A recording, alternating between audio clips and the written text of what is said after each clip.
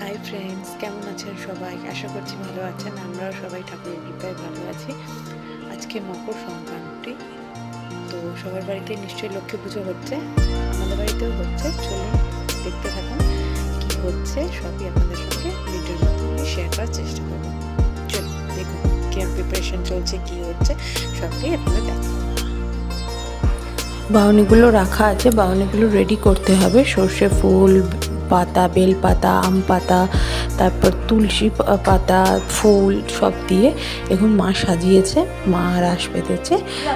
যেখানে ঠাকুর, ওই যে আসনে ঠাকুরমশাই বসে পুজো করবেন, এই যে আমি একটা বাউনি বাঁধার চেষ্টা করছি। বাকিগুলো মাই করেছে, বাউনিগুলো মা বেঁধে রেখেছে, ঠাকুরমশাই এসে পুজো করবে। ঠাকুরমশাই পুজো করে দিয়ে গেছে। ঠাকুরমশাই এসে সব পুজো টুজো করে দিয়ে উনি চলে গেছেন। ওনার সামনে তখন আমি ভিডিও করতে পারিনি। তো দেখতে থাকুন। আমি নারকল কুড়ছি, পিঠে হবে, বিভিন্ন ধরনের পিঠে হবে। তো আমি সেই জন্য নারকল করছি এক হাত দিয়ে তো নারকল করা সম্ভব নয়। ওই জন্য আমি চেষ্টা করেছি, যতটা সম্ভব আপনাদের দেখানোর চেষ্টা করেছি।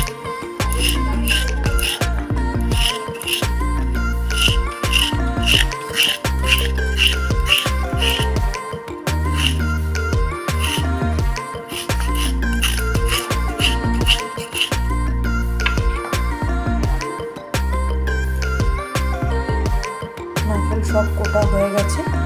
এবারে মা এটাকে ছাই তৈরি করবে, তারপর পিঠে হবে। এই আমাদের ছাই কমপ্লিট হয়ে গেছে। এবার আমি পাটি সাপটা তৈরি করছি। দেখতে থাকুন।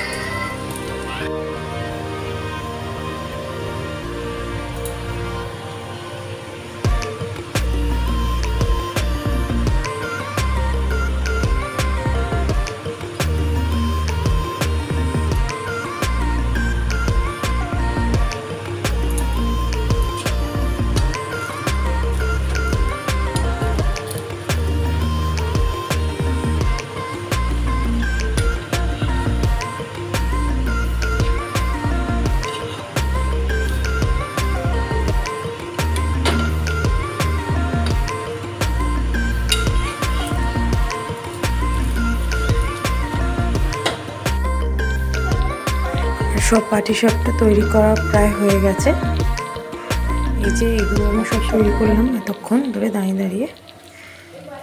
আর মা এইগুলো বানালো, এবার এইগুলোকে আমরা দুধে দিয়ে ফোটাবো। এইগুলোকে পুর পিঠে বলে, এগুলোকে আমরা দুধে দিয়ে ফুটিয়ে পিঠে তৈরি করব।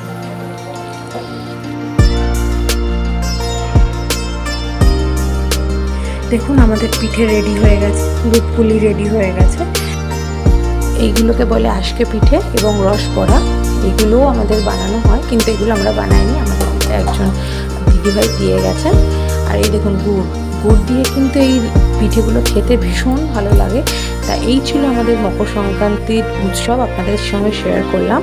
আপনাদের যদি ভালো লেগে থাকে আমার এই ভিডিওটা প্লিজ আমাকে জানাবেন কমেন্টের মাধ্যমে। আর আমার চ্যানেলটা সাবস্ক্রাইব করেন